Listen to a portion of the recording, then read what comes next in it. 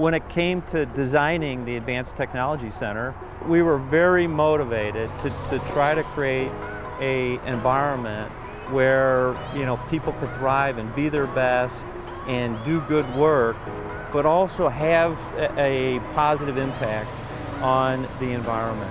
It had to be environmentally friendly and it had to be a great place to work for our people. My name is Peter Desloge and I'm Watlow's CEO. I'm Steve Desloge and I'm Chief Financial Officer at Watlow. From an environmental standpoint, energy consumption was important. So we did many things to try to reduce the amount of energy that we're consuming in the building.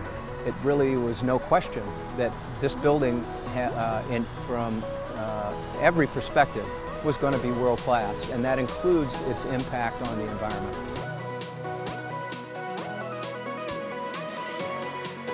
The idea first was to bring in light. We felt that it was important that we brought as much natural light into the building.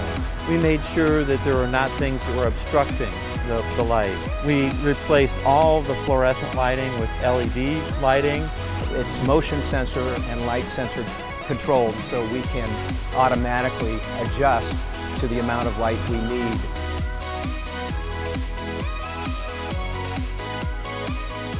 We're doing everything we can to minimize the amount of waste we generate through uh, simple things. We have permanent utensils in our cafe, Louis Cafe. We've got retention ponds located throughout the grounds to try to uh, manage stormwater. We've significantly reduced the use of disposable bottles and other disposable containers.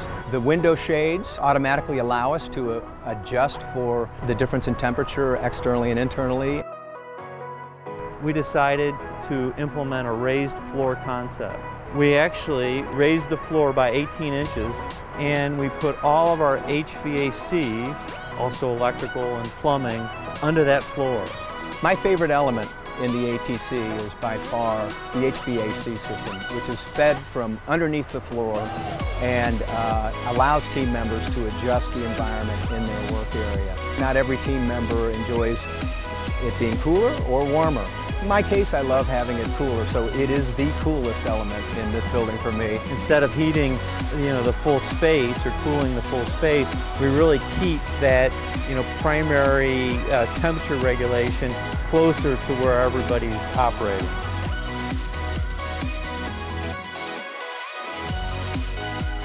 The major challenge that we had in doing this was doing this work while we were in the building. But I think at this point, people see uh, the benefit in, in what has been done. I think every everyone who works here, especially at Watlow, knows that this is an important part of who we are. The overall purpose for Watlow is to really create a great company and have it impact the world in a positive way.